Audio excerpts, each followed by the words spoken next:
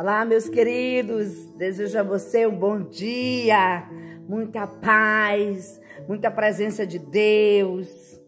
Que Deus te faça vitorioso e vitoriosa. Tema: motivados por Deus. Amém, queridos? Somos motivados por Deus.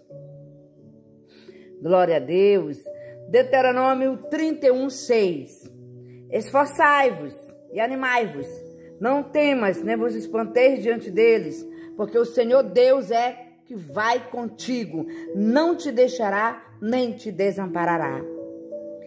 Queridos, hoje eu quero falar sobre esse tema importante de nos motivar.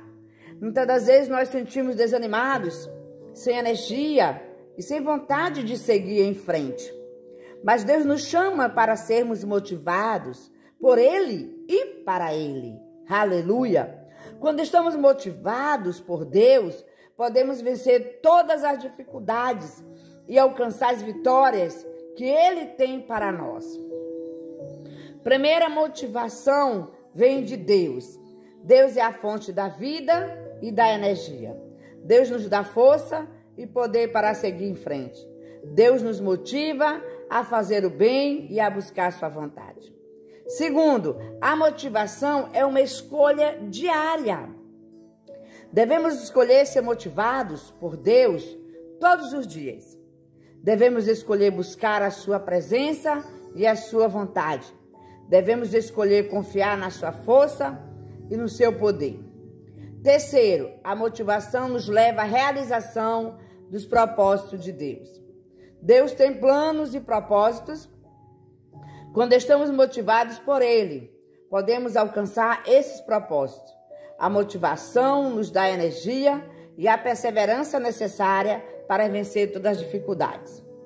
Queridos, vamos concluir? Queridas e queridos, que possamos escolher ser motivados por Deus todos os dias. Que possamos buscar Sua presença e a Sua vontade confiando em sua força e poder para nos dar energia necessária para vencer todas as dificuldades. Que possamos ser perseverantes e fiéis em seguir os propósitos que Ele tem para nós.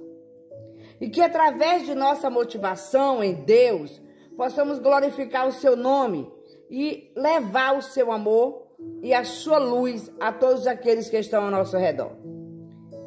Que essa mensagem possa nos encorajar e nos motivar a seguir em frente com fé e confiança em Deus, em nome do Senhor Jesus. Amém, queridos?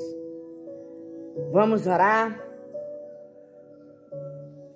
Ei, mesmo nessa luta aí, não deixe o desânimo entrar, não. Nessas horas que você estiver sem força, olha para o céu. É de lá que virá o teu socorro. Amém? a tua vitória chegará. Sei que tu tem andado cabisbaixa, sem força, sem ânimo, porque tu tens olhado para as circunstâncias e para as adversidades. Tire esses olhos das circunstâncias das adversidades e olha para o Senhor. Amém? Ele é o socorro bem presente nesta hora. Vamos orar?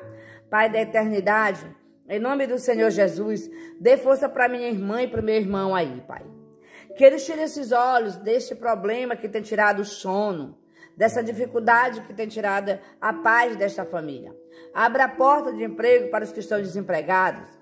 Para esta mãe que está passando sofrimento com esta filha, dê ânimo, vigor, coragem para esta mãe se levantar, profetizar e não olhar para esse problema como já vencido, como já se estivesse sendo derrotada, mas olhar para Deus que dará a vitória do outro lado deste campo de batalha. Rica labaxê de cantas, em nome de Jesus, fortalece todas as pessoas que se encontram agora nesse estado aí, nessa crise, nessa guerra, em nome do Senhor Jesus. Estenda mãos para eles, Pai, levante-os em nome de Jesus.